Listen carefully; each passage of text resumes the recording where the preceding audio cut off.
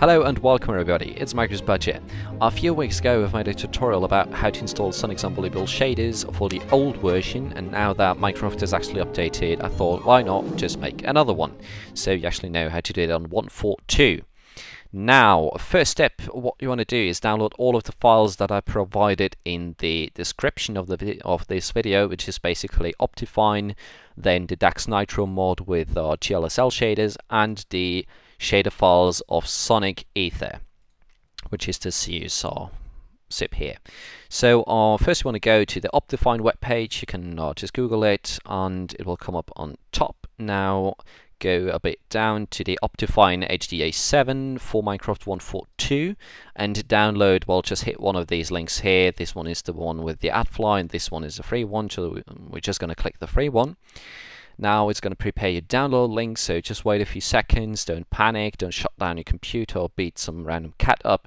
What am I talking about? Anyway, click that link here and it will download the Optifine version for the latest Minecraft. Now, since I've already done that, we can actually skip that and just go to your .minecraft folder, which normally is under C, uses your username appdata roaming.minecraft.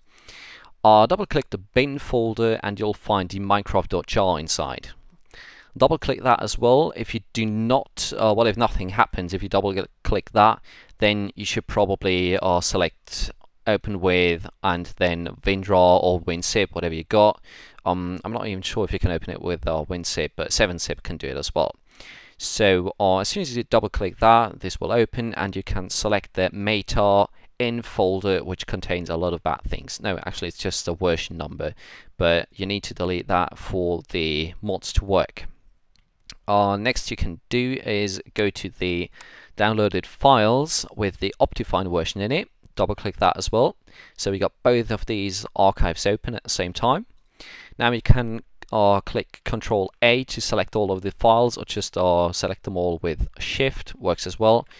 And drag drop these into your Minecraft.jar. Uh, you need to spend attention that you don't uh, drag them into the in the folders up here because uh, then it will be in the wrong place. You need to drag them in the lower part of this archive here on the same level as the other ones. Uh, for compression method, you can choose just store since we don't want any compression algorithms to be applied to these files. Hit OK, and that's basically it. Now we can close both of these archives and right click uh, no, double click the shaders 216 which contain the Dax Nitro or mod. So as soon as you extract the, that, you can either double click the exe or right click open with Java. The Nitro's installer works both.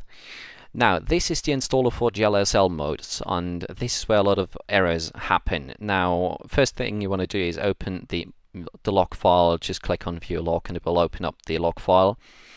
Uh, next, want to do is install the mod by just clicking that button here and you'll see on the right side that he does stuff. He unpacked the jar file, he detected Optifine, now he's repacking the jar and says, well, installation is complete, no errors, that's how it should be.